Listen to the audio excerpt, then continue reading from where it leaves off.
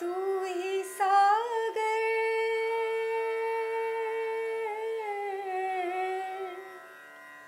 तू ही सागर है, तू ही किनारा। ढूंढता है तो किसका सहारा। ढूंढता है तो किसका આપણે કેવળ વર્તમાનમાં જીવી શકીએ તો ઊર્જા એકત્ર થાય અને ઉપરની તરફ ચાલવા માંડે. આ વાત ઘણી જગ્યાએ કહેવાય છે.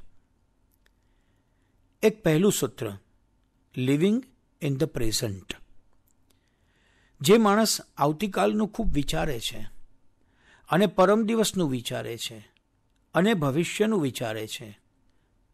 અને ભાવિમાં જીવવાની કોશિશ કરે છે. તેની ઊર્જા વહી જાય છે, કેમ કે ભવિષ્ય તો દૂર છે. અને ભવિષ્યમાં આપણો જે સંબંધ છે, તે કામનાનો જ હોઈ શકે. બીજો કોઈ સંબંધ ન હોઈ શકે. ભવિષ્ય નથી, ભવિષ્ય બનશે. અને બનવા સાથે આપણો સંબંધ કેવળ વાસનાનો હોઈ શકે, ઈચ્છાનો હોઈ શકે. બીજો કોઈ સંબંધ ન હોઈ શકે. મારી પાસે જે છે તે આજે છે. ગઈકાલે હતું કે નહીં તે વિચાર્યા વગર હું આજને જે કંઈ પામવા જેવું છે તે પામવા લાગુ છું. ગઈકાલે સૂતી વખતે મારું સ્વાસ્થ્ય બરાબર નહોતું. પણ આજે સવારના ઉઠ્યો ત્યારથી હળવો ફૂલ થઈને હું કામે લાગી ગયો છું. કામે લાગ્યા પછી હું ક્યારે વિચારતો પણ નથી કે ગઈકાલે તો હું અસ્વસ્થ હતો. અને આ નથી વિચારી શકાતું, એમની તો મજા છે. આજે જ્યારે હું હળવાશથી, ઉત્સાહથી જીવી રહ્યો છું, ત્યારે ભૂલે ચૂકે પણ યાદ કરીશ કે ગઈકાલે તો મારું સ્વાસ્થ્ય બરાબર નહોતું. તો મારો આજનો ઉત્સાહ ખોરવાઈ જશે. ગઈકાલના વિચારો મને પરેશાન કરશે.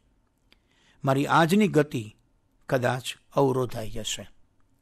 અને એટલા માટે આપણને કહેવામાં આવ્યું live in the present live in the moment આપણે કેવળ વર્તમાનમાં જીવી શકીએ તો ઊર્જા એકત્ર થાય.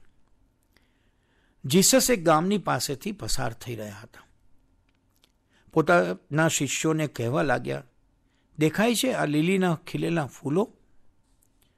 પેલા શિષ્યોએ કહ્યું, દેખાય છે. જીસસે કહ્યું, જુઓ એનું સૌંદર્ય. જુઓ એનું ખીલવું. જુઓ એનો ઉલ્લાસ. અને જીસસે કહ્યું, સોલોમન સમ્રાટ, સોલોમન, જે પોતાના વૈભવના પૂર્ણ શિખર પર હતો અને જેની પાસે સમસ્ત પૃથ્વીની સંપત્તિ હતી, તે પોતાના વૈભવના પૂર્ણ શિખર પર આટલો સુંદર નહોતો, જેટલા આ લીલીના જંગલી ફૂલ સુંદર છે. કોઈએ પૂછ્યું, પણ એવું કેમ? તો જીસસે કહ્યું, સોલોમન હંમેશા ભવિષ્યમાં જીવી રહ્યો હતો અને આ ફૂલ હમણાં જીવી રહ્યા છે. જેમની ઉર્જાને કામના બનાવવાનો અવકાશ નથી, એમની ઊર્જા જ જીવન બને છે. આપણે યાદ રાખવા જેવું છે. જ્યારે પણ આપણે ઉર્જાને કામના બનાવીએ છીએ, ત્યારે ભવિષ્યના કારણ બનાવીએ છીએ. કામના અર્થાત future orientation future orientation means આજે જે નથી તેના માટે આજે પ્રયાસ શરૂ કરીને સમય વિતાવવાની એક ઘટના વાસનાનો અર્થ છે ભવિષ્યમાં જીવવાની ઈચ્છા અને જીવન હંમેશા હમણાંને અહીં જ છે જે વ્યક્તિએ ભવિષ્યમાં જીવવાની પોતાની ઈચ્છા પ્રબળ બનાવી તે બહાર ભણી વહેતો રહેશે અને તેની ઊર્જા બહાર વહેતી જશે.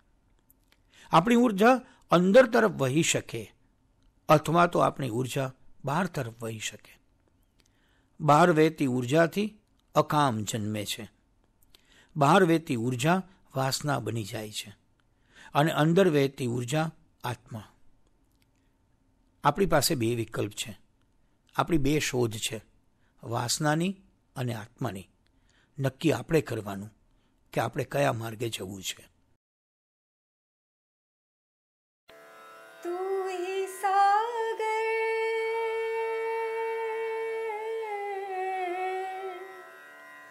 तू ही सागर है तू ही किनारा ढूंढता है तो किसका सहारा